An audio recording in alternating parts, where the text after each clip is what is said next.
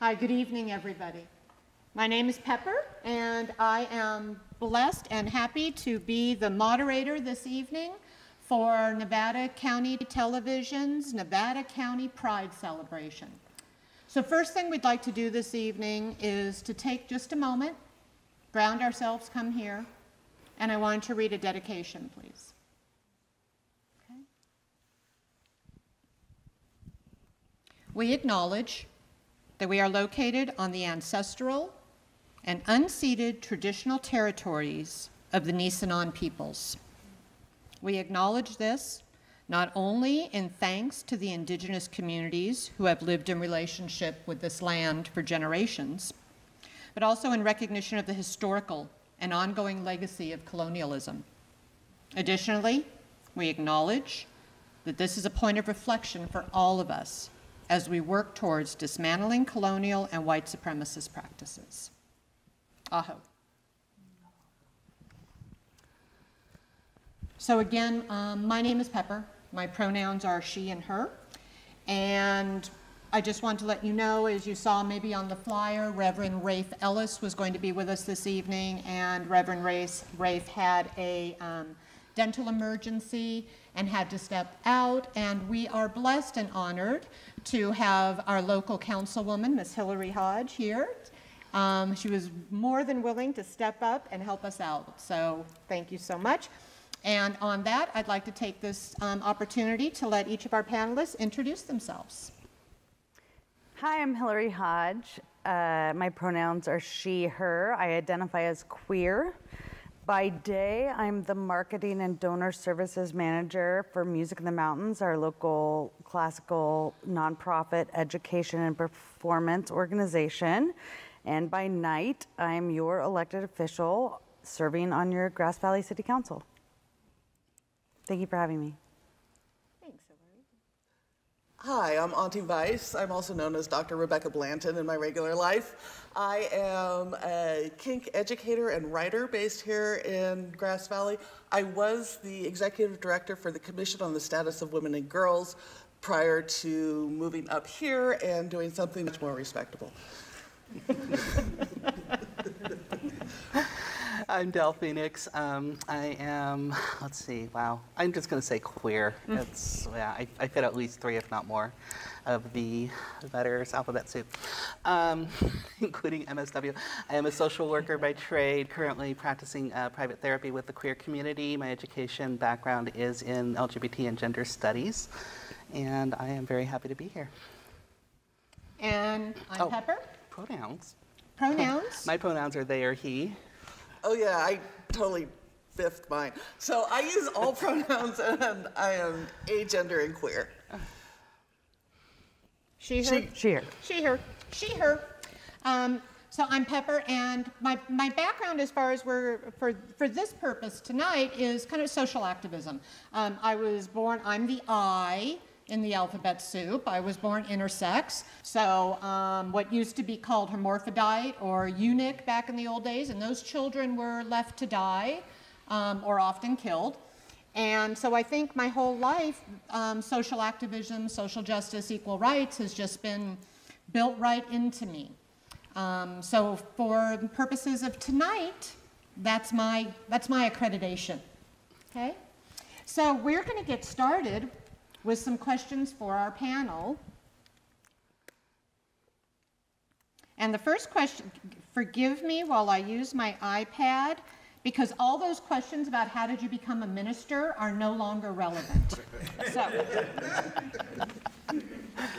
okay. So um, I guess the, the thing that most people wonder, especially, so I'm also a real estate agent, and I have a lot of people that move up from the Bay, and they're like, how do I find people? So, how do you find other queer members of our community? Panel, take it away. I think it's a lot easier now than it was 15 years ago. I spent 10 years not knowing where to find the queer community. I knew a few individuals, and that was it. Um, but now, I mean, we have the Nevada County Queer Forum on Facebook. We have Nevada County Pride.org um, as a website who hosts uh, monthly barbe- or monthly potlucks, and you know, several organizations over the last few years have stepped up to provide a lot of different services in the county. I moved up three years ago to Nevada County. Luckily, I had been working in the area prior to that, and I connected through women's groups. I had worked with a lot of women who do various forms of political outreach, and the the Venn diagram of highly political social activist in the Democratic spectrum and lesbians is a very tight overlap. Uh, so that made it easy. I am also incredibly out as kinky and queer online, so people found me. So the more, like, they'd see a post they're like, there's another queer woman up here. Because we're kind of like the candle with, with all the moths. So I find the more open I've been about my sexuality, the more I've found, and it didn't take very long at all to find a very large group of queer women. They're just all, we're hidden in them there hills up here.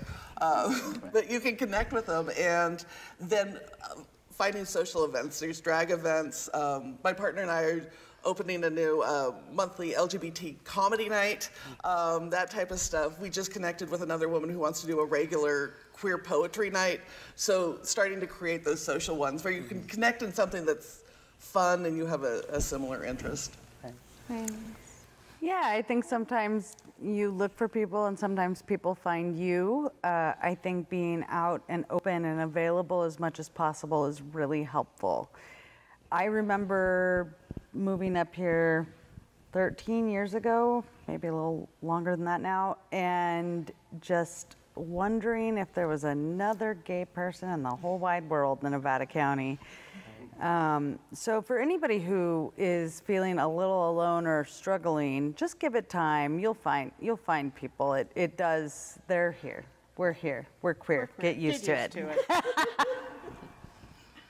I agree. I, I moved here 13 years ago, and I moved here with, with a woman, and so it was, I had her group of friends, and then same thing, I think, you know, I was very, um, I live out loud. Whether it's my recovery or my sexuality, I live out loud, and so I think we, we've been able to kind of gravitate towards each other. But I started doing like Gay Day at the Yuba. Right. And, you know, which is, is hopefully coming back for everyone who's wondering. It's going to be maybe a little reworked to be more conscious of the environment. Um, but it is coming back. If you don't know, Gay Day at the Yuba was, how many people came to the last one? A few thousand? Yep. To the Yuba? So there are lots of events if you're, if you're plugged in and stay mindful. And again, as we said, NevadaCountyPride.org, we've now, as of yesterday, have a complete calendar for the whole year. So if you want to see what's coming up, or if you have an event that you want on the calendar, please just email us. Our email's all over the website, and we'll put it on the calendar. The burlesque show is on it. So, yeah, so fabulous. Thank you. Okay, um, so so we've talked a little bit about how to find each other. Now, how do we find resources? Okay. And Del, I'd love you to start on that because that's kind of your your bailiwick. So resources, we currently have, um, starting with NEO, has the Rainbow Social, which is monthly. It's currently on hold until the fall. We also have Color Me Human with their support group. They took over for um, the old PFLAG support group, which is also monthly online on Zoom only, and that is also on hold until fall. Um, but we have all these wonderful summer events to keep us going. Um, we also have the Placer County PFLAG that anybody is welcome to. They have wonderful educational sessions as well as support groups. Can you tell the community what PFLAG is in case everyone doesn't know? PFLAG is Parents and Friends of uh, Lesbians and Gays, and when I first moved here, that was the only organization that you know represented our community. And I assumed, coming from the larger city, that it was only for family and friends, um, and did not reach out. And that was actually a big miss for me, you know, which is I think partially why I was not connected to community for as long as I was, because for a long time they were the only people here really holding down the fort for our community.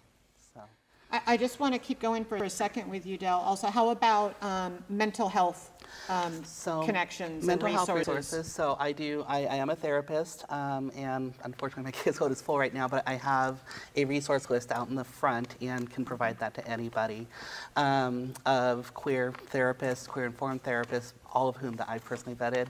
Um, we do have Sierra Therapy Center here in town with some very wonderful therapists. I've trained them. I also do clinical trainings and gender, diver- gender diversity trainings for the community as well as clinicians.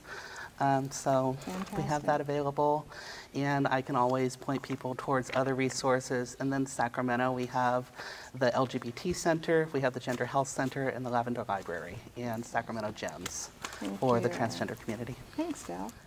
How about for kink? we are we are a little more quiet up here than we are in Sacramento, but there are several very great kink groups. Um, the Facebook version for kinky people is FetLife.com, and it's just Facebook with a lot more nudes. Um, it, it really is. It's, it's not that much more interesting, but it does list all the local events. There is the BDSMevents.org, which carries a long list of events, and then there's a few of us who are very out about it, and I am happy to connect people with the appropriate communities up here. Since I've been up here, I've had quite a few people reach out through social media and say, hey, I'm looking for a kink friendly therapist or I'm looking for a kink friendly doctor.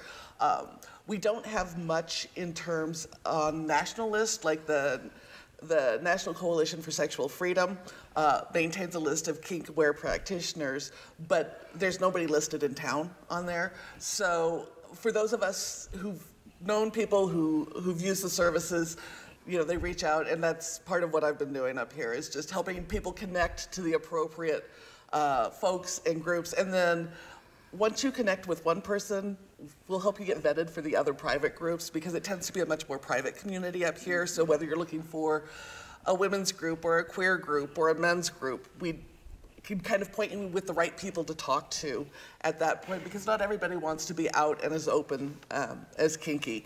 Um, but yeah, once you find one or two people, and everybody's welcome. I'm Auntie Vice on all social media everywhere.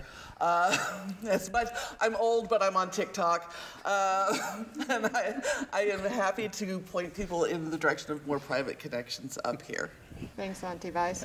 Well, I know I'm not the facilitator, but for the unanointed, what is kink and BDSM? So kink and BDSM for the, the I don't know if is anybody I don't know it's on Bob's Burgers. How is how is like Bob's What's Burgers? Bob's Burgers? Bob's Burgers the cartoon did a whole balloon fetish episode. Like I, I kind of assume people Go on. It's the whole whips and chains and leather thing. Yeah, that really scandalous stuff of people running around in puppy mask and you know saying you know more daddy, more mistress. Um, there's a lot of that, and it, it's a huge overlap with the queer community. Our sexuality hasn't been accepted.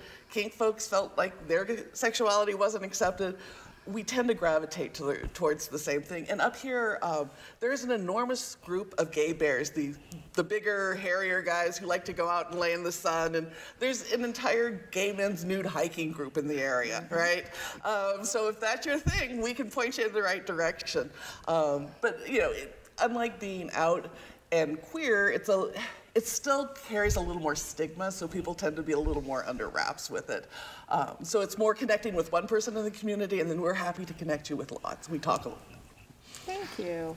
Hillary, how about how to find resources to become politically active in our community? How would one do that if they are looking for social equity or to support the people they love in their lives who may be queer?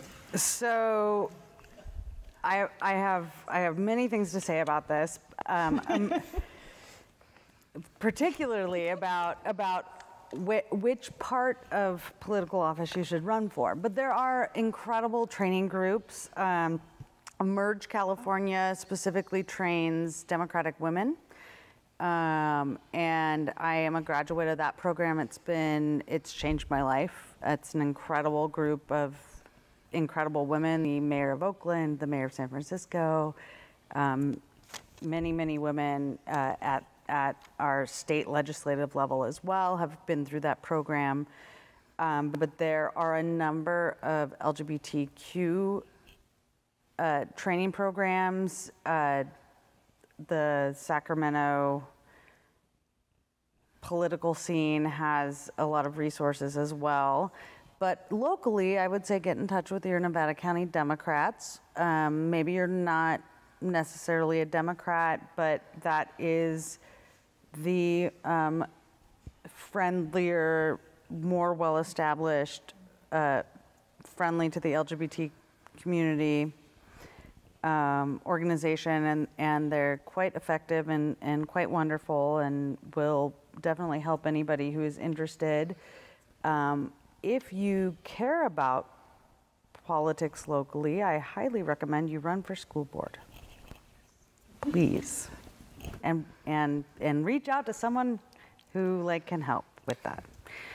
Um, the other thing that I do want to touch on a little bit in terms of resources that I think is really important is that we have in the last two years um, a state superintendent in Tony Thurmond who has worked really hard to expand non gender specific bathrooms in our local public school system.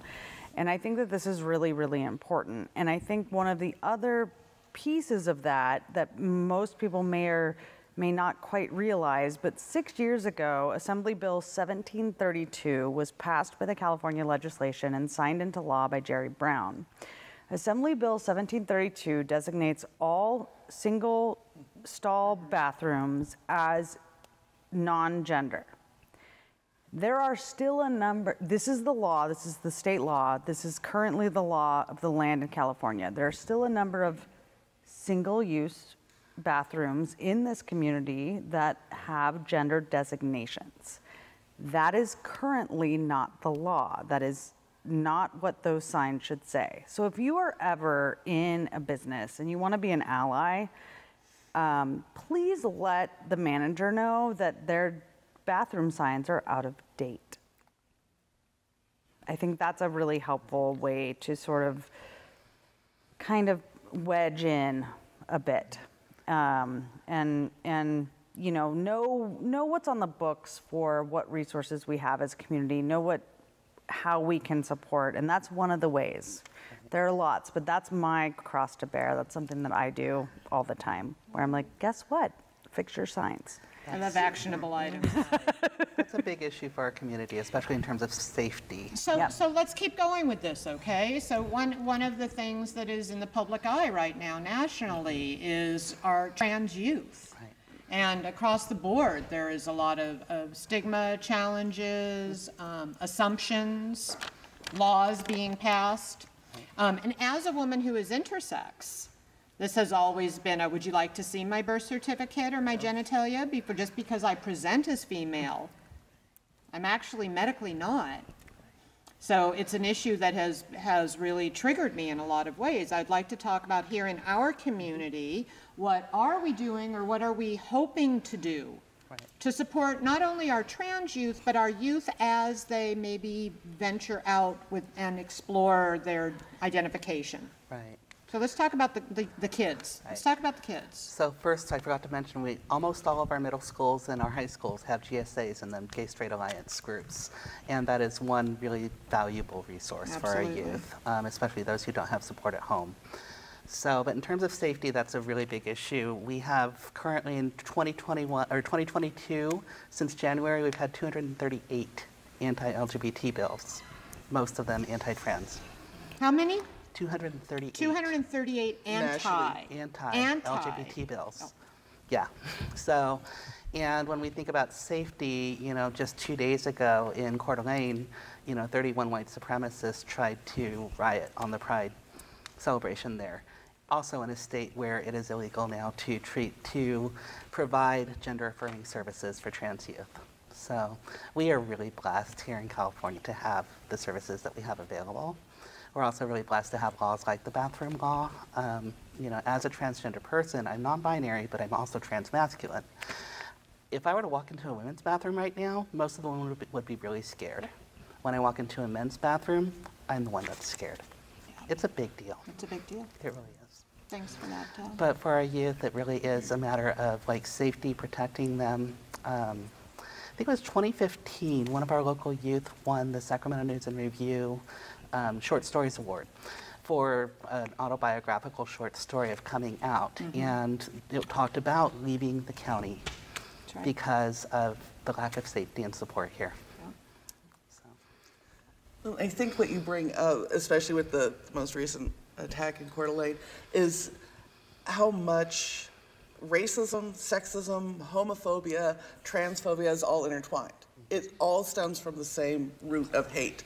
So, as part of supporting and, taking any type of action to it, it's also undoing those other forms of discrimination. In the last year, our school board has had, like most school boards in this country, quite a raucous debate over um, what they are deeming critical race theory. It's not critical race theory. My dissertation is on critical race theory. I'm the only one in the country who has data on the impact of critical race theory on high school students. It's not what's going on there, but people get riled up over the term. Um, and undoing that and going out to speak up for the importance of educating kids and giving them basic resources in libraries is really critical. Um, there are other small things you can do. Request LGBTQ young adult fiction for the library right? You can go on our library's websites throughout the county and you put in a request for those books that you wanted to read as a kid or read as a kid that made a difference. Mm-hmm. Let's make sure they're available to our kids. And then as the school board has hearings, we in California we've passed laws over the last several years around what needs to be included in curriculum for LGBTQ plus students. So as those come up, as community members to come up and say, yes, I want to see this in my school, whether it is comprehensive sex ed. Let's let's talk about it's not just heterosexual P and V, and that's what we're going. And here's how to put a condom on a banana. Like that is not useful for some of us. my exploration with girls had nothing to do with condoms, uh, right? So making sure they have access and the language to talk about that and space to do it because queer youth we're much more likely to try and kill ourselves. 40% of us try to off ourselves before the age of 18, and they find the risk of that drops by over 40% if you have one supportive adult. Can you repeat that last sentence, please? So, I think it's important. Over 40% of queer youth try to kill themselves before the age of 18. And that risk drops significantly. They estimated around a 40% drop in risk if they have one supportive adult. So to have a librarian or a teacher when you don't have that support at home is so critical in making it to adulthood. Right. And the numbers are even higher for the transgender community. Um, I think it's currently 68% decrease in depression for people who have for young people who have gender affirming care, and 70 over 70% of a decrease in suicidal attempts and ideation. That's huge. Just It's a by huge decrease, just by the, providing our, care. our A Right, for an ally. Yeah. For someone to be an ally, whether or not you identify anywhere on our alphabet soup spectrum, mm-hmm. you can be an ally and, mm-hmm. and not just make a difference in someone's life, but actually help them to want to continue to be on the planet Right. just by reaching out. Absolutely. I mean, that's an actionable item that all of us should be taking, not just could be. I once had someone ask me why I put my pronouns on my Zoom profile when it's obviously I'm she, her. And I said, You do that because for the person it's not obvious for, you show up for them. And so I think there are just really small things that we can do to think about inclusivity, and that's one. Right. And when we move forward trying to think about the things that we don't necessarily know we don't know, or really reaching out, and if someone corrects you on something, you know, I know, I know that we have um, kind of this current idea of, of quote unquote cancel culture. Um, but I have had a lot of counsel culture um, for me because you don't know what you don't know. And being able to hear someone and listen to what they need and, and, and then yes and that and accept that that's what they need and move forward by being an ally in the way that, that people need allies, I think is really important as well. Right. Got it. Um, I'd like to, con- I think this is an important conversation, especially for members of our community who may be watching this at home, who, who don't know what, they, they just, they hear the words and they have assigned a definition that maybe they assume that means. So how about if we talk a little bit about terminology, about language? Um, what does it mean to be non-binary? What does it mean to be trans? What does it mean to be queer? All, all that. Let's let's open, and I'll stop dropping my glasses. Let's open that up a little bit. Okay? Yeah. So. Sure. Yeah. So, as a person who identifies as non binary um, and transmasculine, I didn't come out as non binary until I was 35 because I didn't have the language. I knew when I was a kid that I didn't fit either male or female. I fit both and none, all at the same time. And there are a lot of other identities um, and like new terminology that kind of fit under the non-binary umbrella. And it can be really confusing for people who really don't know and that's okay. What's important is that we recognize and acknowledge and do the work to understand what's important to the person in terms of their identity their pronouns and how they describe themselves Love that. Thank you. I want to piggyback on what Della said because I've talked to a number of trans folks up here who have said their work environments are incredibly hostile and even asking for the respect of using the appropriate pronouns, wearing a pronoun pin that says my pronouns are they, or, you know, that, that their coworkers will mock them. And that it's even asking for that minimal level of respect has been problematic in our workspaces. So even just reinforcing in your workspace, no, this is just basic colleague to colleague respect. It's it's nothing more than that. It's like using somebody's appropriate name, right? Um, instead of calling them Princess Post-it Note, you use their name, right? And you don't have to respect them, but you you know it's it's a minimal level of courtesy. And I think uh, in Nevada County that's been particularly difficult for our trans community. Um, I identify as queer. I I came out as bisexual at 14, which was 35 years ago, because that was the new and exciting word that described me. We now have a whole series of words that describe it. Um, and I'm agender. I don't care about gender. It, it's never made sense to me. I have no attachment to various gendered body parts. Uh, you know, I tell folks I have the Mr. Potato Head fantasy. I didn't want to be Barbie. I wanted to be Mr. Potato Head because I could swap out the parts that I wanted during the day.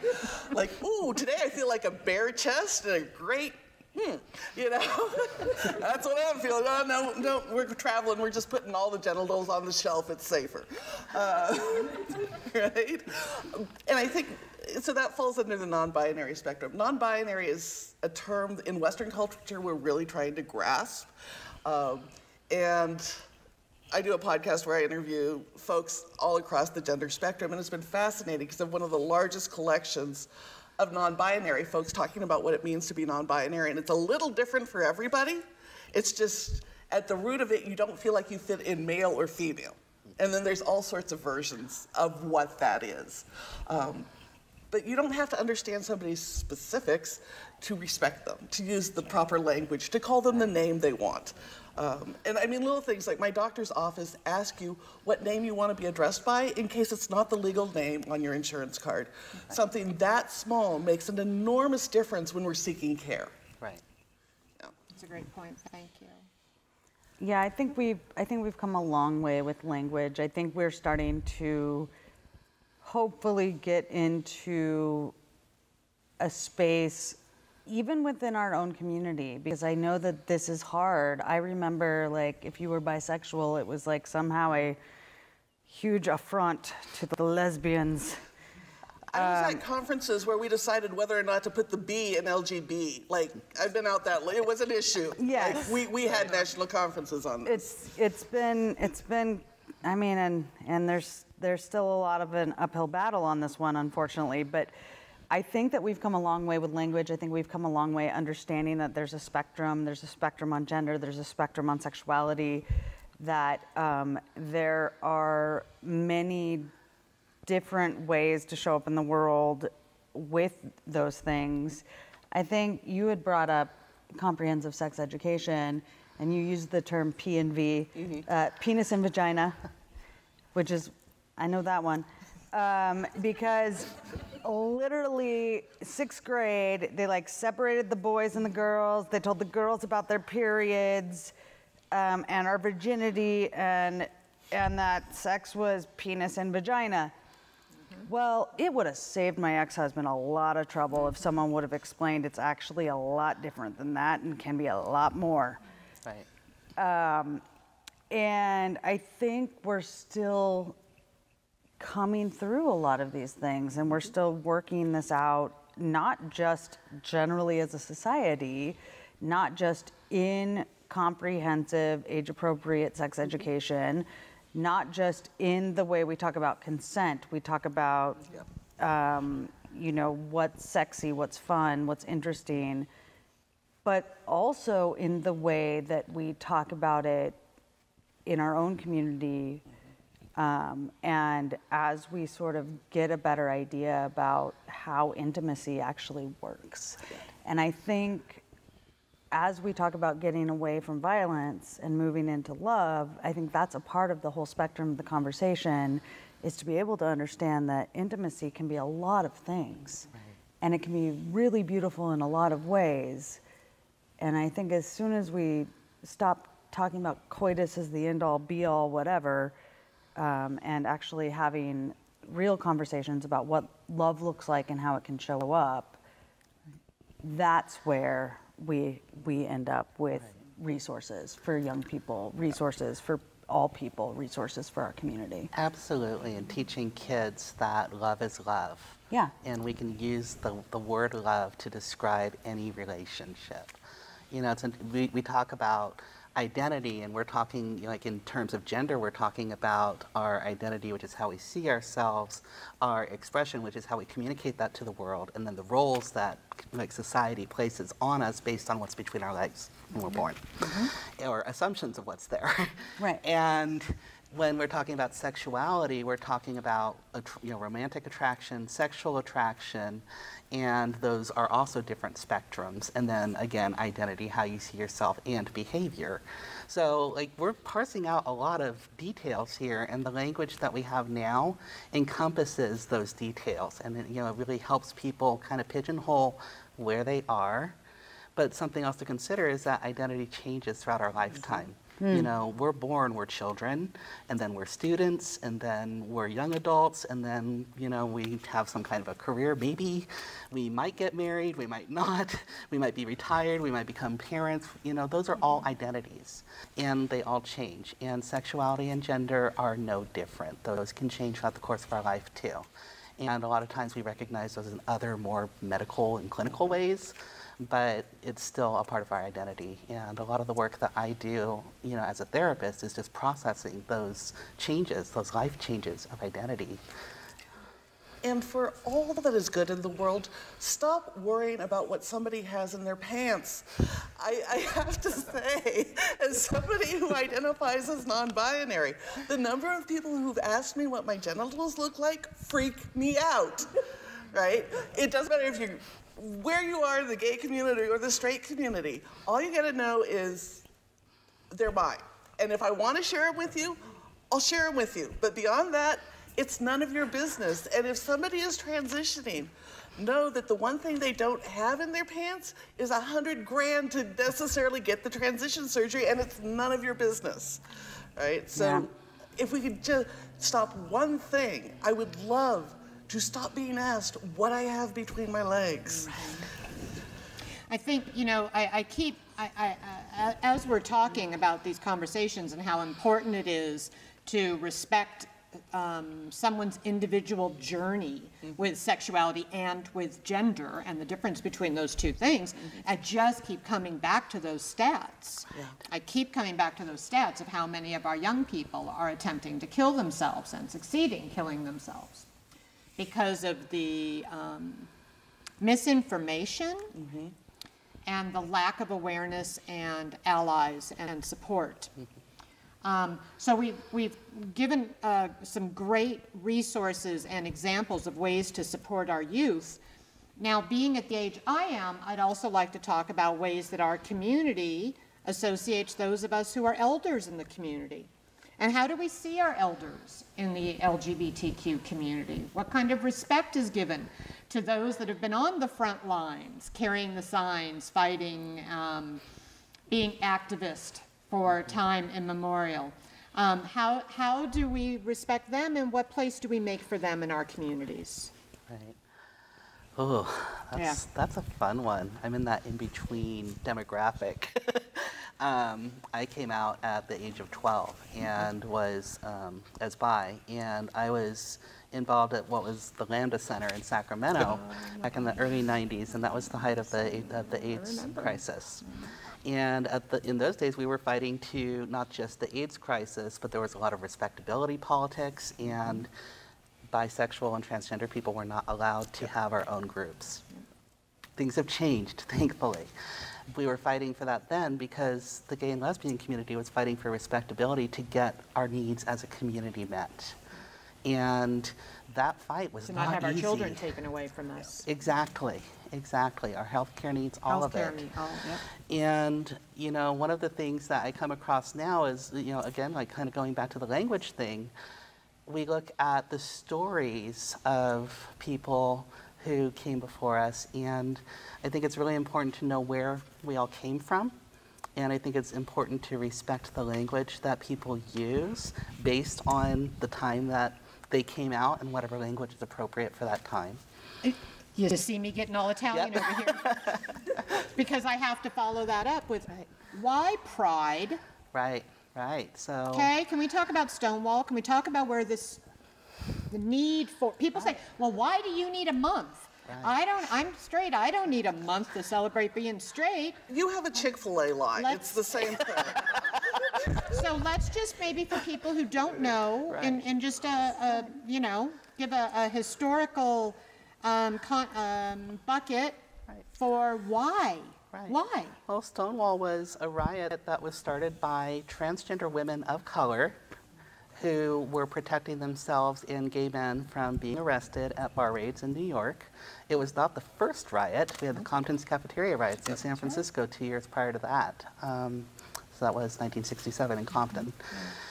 Um, and that was started because gay men would and transgender women would be arrested in bars and then raped by the police, beaten by the police, and then have their names published in the newspaper. Their lives would be ruined just for trying to find community and be who they were.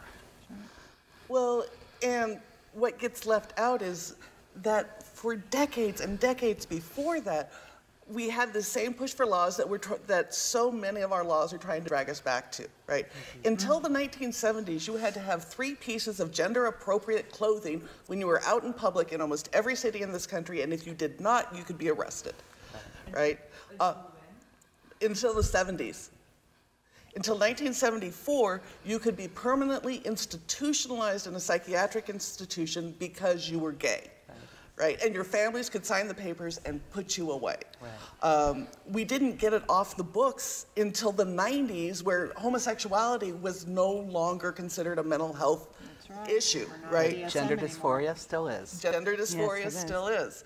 Um, and so, what gets lost, especially as we focus so much on youth, is so many of the struggles for those of us who've been around longer is that this really, we understand what it's like to fight for our lives. I was part of the generation that nursed gay men, waves and waves of our friends died, right? We are missing so many of our elders because they didn't make it, right? Which is one of the reasons LGBTQ folks over 45 are the most immunized people against COVID because we know what it's like when the government ignores us and lets us die, right? Um, and it is a conscious decision to let us die. So when we're creating these spaces, one, I think it's recognizing that, you know, our elder, you may be 60, 70, you know, 80, 90, going out to Pride, don't shun them. Like, give them service at the bar, right? This is one of the problems that some of our elderly queer folk, and I, I'm in that group now. Um, I die because I'm not ready to commit to the gray. Um, but you go into a bar and they don't necessarily want to give you service because you're not the young cute thing anymore, right? Um, so doing stuff like that, understanding. oh, heaven forfend. Uh, Heaven for fem. But and understand that when your your gay elders are showing up at Pride in kink wear, expressing their sexuality, like making this not a totally family friendly, you know, safe for the kids party, it's because that was why they were attacking us. This is why we were dying. This was why our government allowed us to die and allowed us to be imprisoned. And so, yeah, you've got, we can't have just family friendly pride because those of us who have fought these battles fought it because of who we were. And it was not because they were afraid two lesbians were going to go adopt some cute little third world baby, right? That was not, that's never been a big political issue. It's because two gay guys want to hook up at a bar. Like that's what, or, you know, a lesbian wants to wear her keys and her cargo shorts. Like those were the reasons we were persecuted. So to have that space at Pride and recognize that our sexuality is core to why we were prosecuted um, and why we were shunned. I think part of all patriarchal institution, it favors white over people of color, favors men over women, favors homosexuality over hetero or heterosexuality over homosexuality.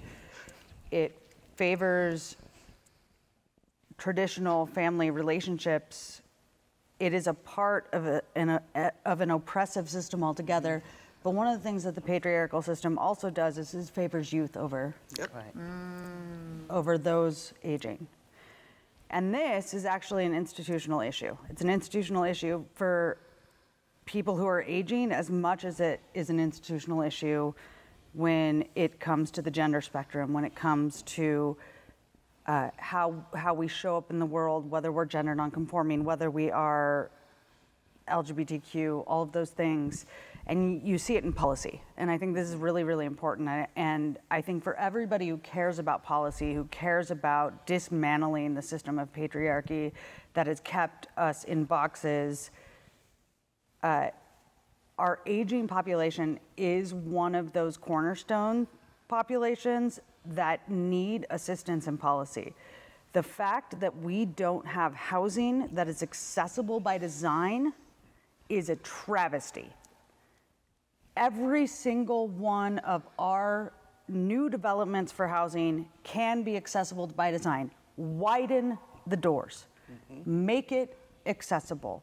There should be a percentage of all new housing in every state in this nation, but especially in California, because we have the progressive will to do it, and it's not happening. It drives me nuts. And to think about, because all of us are able bodied until we're not.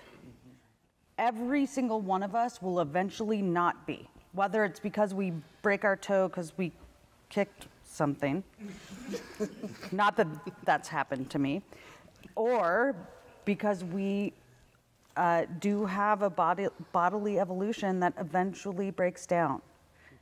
All of that needs to be a part of our policy making, and we need to understand that when we are not doing that for our elders, that that is discrimination that is ingrained and based out of the same system of oppression mm-hmm. that has always been a part of the conversation against the LGBTQ plus community as well. Well, and accessibility, not just in terms of disability, but also accessibility for housing for our elders because prices are going up. Yep.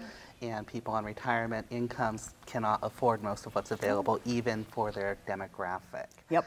And, you know, the number of homeless people on the streets that are LGBT spans all ages, not just youth, although there is a disproportionate number of youth yeah. that are homeless, that are LGBT. So, panel, we have only a couple minutes left. What I would like to do is to give um, each of you an opportunity, if you were to say anything to the world about um, anything, about who you are, about a, a, topic that's important to you in, in 90 seconds, um, what would you want the world to know? Whether it's been discussed yet or not. What would you like the world to know? And Del, I'm going to start with you. Oh, I have to choose. Yeah. I might need to defer because I have a hard time Okay, choosing. that's fine. Let's start in the middle and move. Ooh, look at us outside There the box. Auntie Vice? Public policy is a moral issue, right? And in this country, we are failing across the board. Our queer youth, our queer middles, our queer elders, we are failing to protect them. I have had over two dozen conversations with different therapists in the last two weeks that say this legislative assault is so demoralizing and distressing. People are coming to therapy trying to just process the amount of hate in the world. We have to be on our politicians to make those decisions that support our community, and you have to dismantle this whole cluster of uh, policies that include anti-trans, anti-homophobia, sexism, racism, colonialism, because it's all tied together, and the same people who hate one group hate the rest of us, and they move from state to state, right? This is the joy of, of transportation these days. So you can't opt out of the political system and hope for a moral outcome that's going to support the community. You have to contact your, your politicians and let them know these are the things that are important to me. Fantastic, thank you. Um, On, Congresswoman? Sorry, Councilwoman, I'm hoping. Well, that would have been what I would have said. And I'm going to take a total, total left turn. So I learned about Ani DiFranco when I was 16 years old after meeting just this beautiful, beautiful dyke at an ACLU conference at UC Berkeley. And we spent a rainy afternoon making love. And I picked up the CD, and on the back of it, I saw that this bald headed, gorgeous woman had Amazing Grace on her CD. And I have seen Ani DiFranco 30 times in concert waiting for her to do that. She is going to be here on the 28th, and if she doesn't sing Amazing Grace, I just don't know what I'm going to do. So I grew up singing in church, and being able to see someone who looked like me and the people I loved also have a song that I grew up singing in church on her CD, which, by the way, was released on vinyl this year, um, was super inspiring to me. And everything that you've said, because as the politician on the stage, I absolutely agree. But also, I think Ani DiFranco should sing Amazing Grace when she comes to Grass Valley. I'll make a call. Del? I absolutely can't disagree with any I, of that. yeah. I have the same CD. I think it's in my car. With the little righteous babe on the back. Oh, yeah. Absolutely. Well, the new one, oh my gosh, Re- Revolutionary Love. Ah. And honestly, like that's what queerness is. Yeah. It's not just who we love in the community, it's loving ourselves. And queerness is about doing what we need to do to make our lives work. Yeah. I mean, honestly, like how many different ways do we have to step outside boxes in our lives? And how many different ways can we define ourselves as queer without ever touching the realm of sexuality or gender identity? You know? So that's not exactly what I planned on saying, but it fits. That's what organically came out. And, and I'll say for me, um, if, if any of you saw the, the little commercial that we did for this event, it was um, all of us in one outfit and then we changed to another outfit quickly. And, and the, the messaging was inclusion that, that don't always believe everything you see. So when you're out in the world and you see people and your first thought is, are they? Are they male? Are they female? Are they, or you see someone like me, and well, obviously she's female. Don't believe everything you see because our community needs to be seen for who we are, not who you think we are.